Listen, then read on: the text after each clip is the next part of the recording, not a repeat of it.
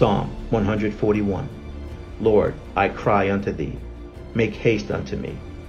Give ear unto my voice when I cry unto thee. Let my prayer be set forth before thee as incense, and the lifting up of my hands as the evening sacrifice. Set a watch, O Lord, before my mouth.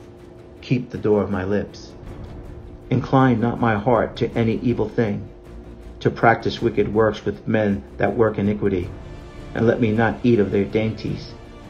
Let the righteous smite me, it shall be a kindness, and let him reprove me, it shall be an excellent oil, which shall not break my head. For yet my prayer also shall be in their calamities, when their judges are overthrown in stony places. They shall hear my words, for they are sweet.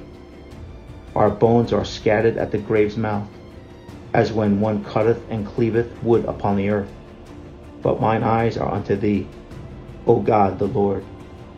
In thee is my trust. Leave not my soul destitute. Keep me from the snares which they have laid for me, and the gins of the workers of iniquity. Let the wicked fall into their own nets, whilst that I withal escape.